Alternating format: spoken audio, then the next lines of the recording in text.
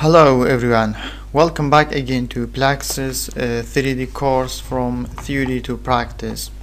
This is going to be lesson uh, 63, uh, prediction of a soil liquefaction using UBC 3D PLM model in Plaxis 3D. Uh, so in uh, this tutorial we are going to predict to estimate whether uh, the liquefaction will occur or not using uh, Plaxis 3D uh, and using these constitutive uh, models. So before we uh, start uh, modeling in Plaxis uh, 3D I will uh, shortly talk about the liquefaction and what is the liquefaction and how it occurs and how we are going to simulate the liquefaction in Plaxis 3D and also what are the parameters that uh, need to uh, define using these uh, constitutive models. Uh, liquefaction occurs when saturated loose soils like uh, sandy soil or silt temporarily lose uh, their strength during an earthquake. So this is causing to act like a liquid. when a ground shaking when we have an earthquake or a ground shaking. So this uh, increases a water pressure between a soil particles and uh, weakening their load bearing capacity and uh, uh, leading to instability set instability and settlement and potential uh, structural uh, damage so if we look at the uh, Coulomb's formula which defines uh, the shear uh, strength of uh, cohesionless soils, we can see that the uh, shear strength equal effective uh, stress times ton of ton of internal friction angle of the soil.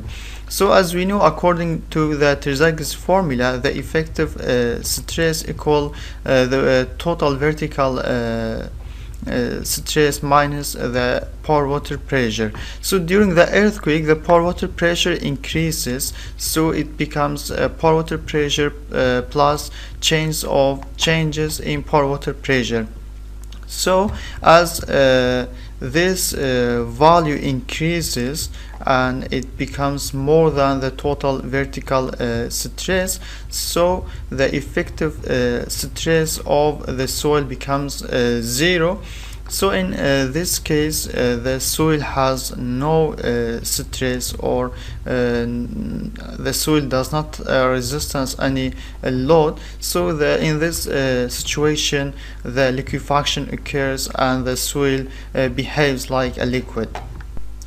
So to estimate the risk of the liquefaction it is very important to uh, identify predisposing factors such as uh, soil characteristics and triggering factors like earthquake magnitude and uh, ground motion acceleration. Uh, there are some uh, semi-empirical methods in the literature which can be used for determination the potential for liquefaction at a site during the earthquake. So as I said in uh, this example, we will use uh, this constitutive models. Uh, it is called UBC 3D uh, PLM model.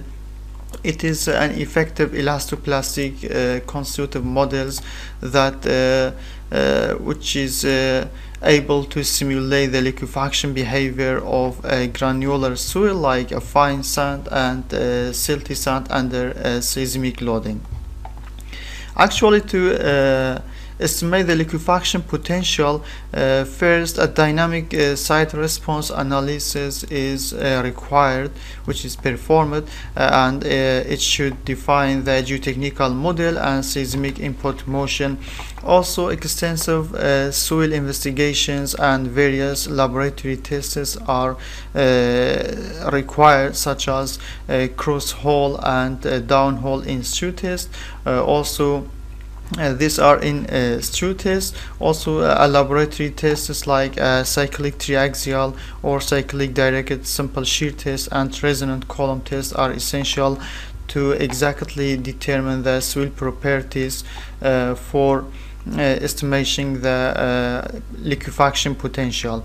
However uh, often only uh, drained triaxial test uh, data or other limited data are available for uh, model uh, input. Uh, that's why there are some simplified method which are based on SPT standard penetration test to predict or to estimate the parameters of these constitutive models for using in Plaxis uh, 3D.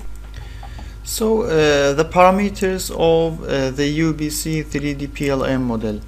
Uh, usually in earthquake engineering when uh, the one set of liquefaction is the modeling target a cyclic triaxial or cyclic direct simple shear test is the proper way to extract all the parameters for uh, these constitutive models so uh, in general uh, these two tests are these two laboratory tests we can extract all the parameters of these uh, constitutive models from the cyclic triaxial or uh, cyclic direct simple uh, shear test.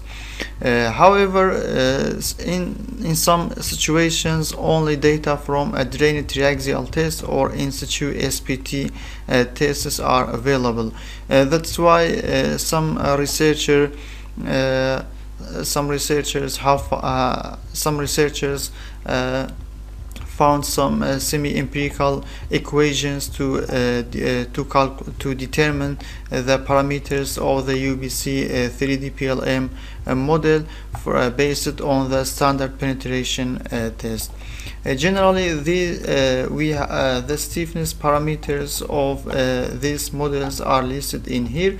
We have k sub b asterisk e. We also have this one and the uh, powers like ME, NE, NP and uh, reference pressures. So uh, K sub B asterisk E is elastic bulk uh, modulus factor. Actually uh, all uh, these parameters are unitless. They are just a factor except the reference pressure. Uh, also, uh, K sub G asterisk E is an elastic shear modulus factor, and uh, K sub G asterisk P is a plastic shear modulus, and also these uh, are the relationship uh, for uh, the bulk modulus and these factors, and the shear modulus and these shear elastic factors. Also we have uh, these uh, were the stiffness parameters of this model. Also we have uh, strength parameters uh, phi CV which is a constant volume friction angle also peak friction angle. Also we have a cohesion and tension cutoff. Uh, usually the we use uh, zero for cohesion because uh, as uh, we mentioned before the liquefaction mostly occur in uh, fine sandy soil or silty sand. And mostly the cohesion is zero. Also we have some advanced parameters uh, for uh, this model which is a failure ratio and uh, uh corrected uh, SPT value. Also we have the other two factors which is a densification factor and post liquefaction uh, factor. So in here we will we will uh, explain how can we extract all these uh, factors uh, based on uh, corrected SPT uh, value. So uh, these two researchers proposed some semi-empirical equations to to determine or extract the uh, parameters of the UBC uh, 3D PLM model from uh, SPT for the generic for the initial generic calibration for the UBC uh, sand uh, model. Uh, after these uh, two researchers and these researchers in uh, 2013 uh, based on the work done by these two researchers find these correlations for estimating or extracting the uh, UBC uh, 3D PLM model based on the SPT. So as uh, we as we can see, the uh, stiffness parameters are listed in here they are very simple uh, empirical uh, correlation and can be easily uh, determined or estimated from the corrected SPT uh, value. Uh, also, uh, the, we have the indexes parameters like ME, NE, and uh, MP. these parameters should be actually should be calibrated by using curve fitting we can we can use uh, these uh, values. Uh, for example the range of these three parameters is very between 0 to 1 the suggested uh, default values uh, for ME and NE is 0.5 also for NP uh, 0.4 actually I suggest you to to read the UBC uh, 3D PLA model from the Plaxis uh, material uh, manual. Uh, it is uh, extensively explained, everything is explained in here. Uh, also, for the strength parameters like a constant uh, volume friction angle also the peak friction angle and cohesion. Generally the cohesion is uh, zero and the relationship between the constant uh, friction angle and the peak friction angle uh, also uh, based uh, on the corrected SPT value can be the the correlation between these two parameters are shown in here.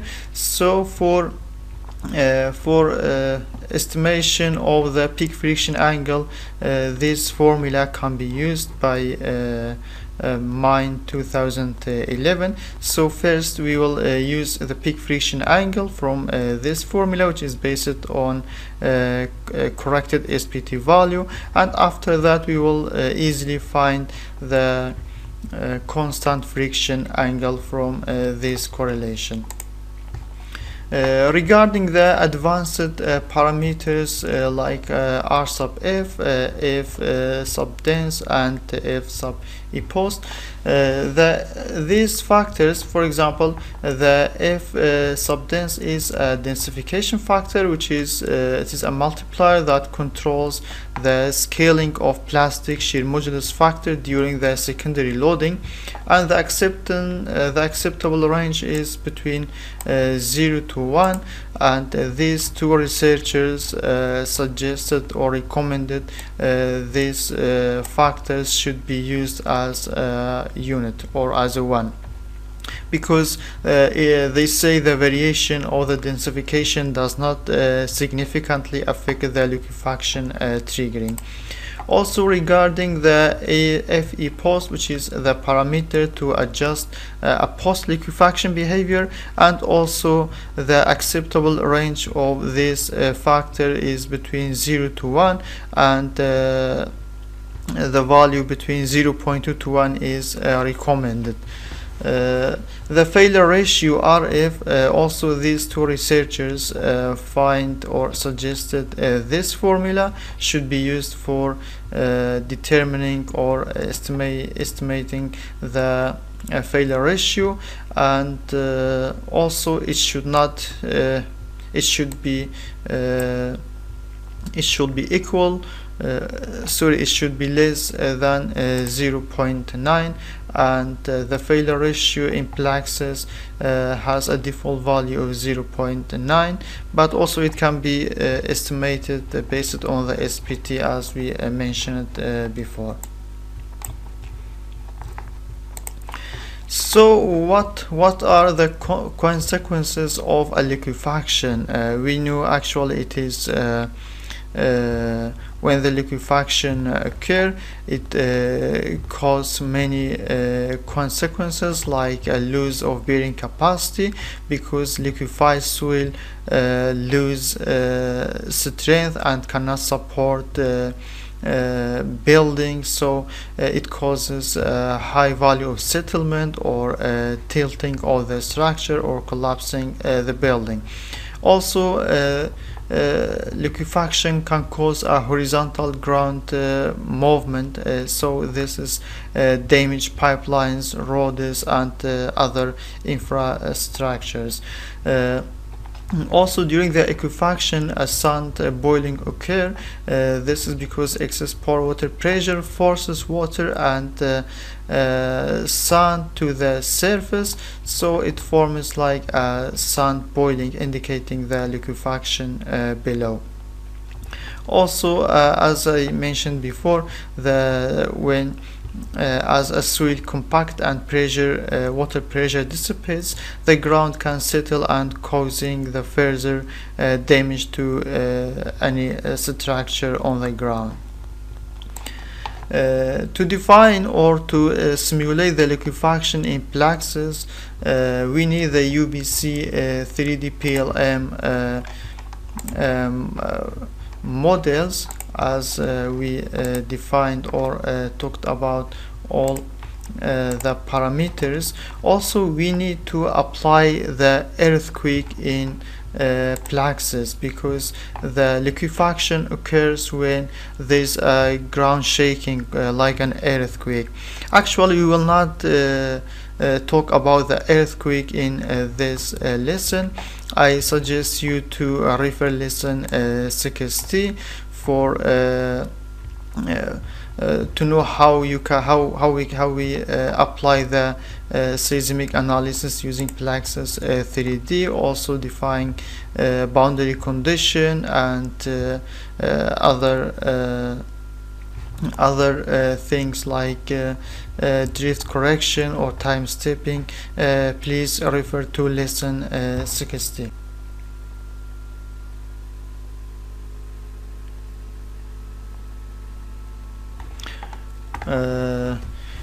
actually before we uh, before we uh, before we proceed to mesh there is something I want to mention here. In uh, structure in structure mode uh, we should define uh, the seismic input